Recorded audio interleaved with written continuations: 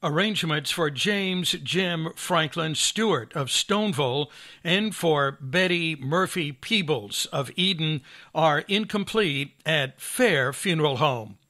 Arrangements for Edith W. McCollum of Eden are incomplete at Perry Spencer Funeral Home in Eden. Mike Moore Media is the first place to hear announcements from Perry Spencer, Fair, Ray, Boone and Cook Funeral Homes.